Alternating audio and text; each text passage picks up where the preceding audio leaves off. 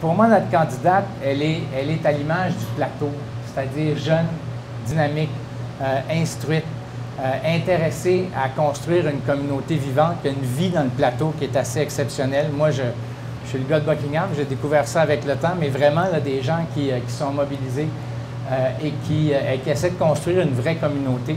On est dans un quartier qui vit une explosion démographique depuis des années. On est dans un quartier qui a besoin qu'on s'investisse, c'est-à-dire transformer un quartier qui a commencé en étant de l'urbanisme traditionnel, donc un paquet de maisons avec pas nécessairement de services de proximité, avec un cœur du village qu'on va consolider et consolider pour que les familles puissent euh, faire plus de choses à pied, qu'il y ait, une qualité de vie de proximité plus intéressante. Et ça, ça prend du leadership, ça prend quelqu'un qui connaît la théorie et qui a les deux mains en pratique aussi. Et vraiment, merci d'être avec nous.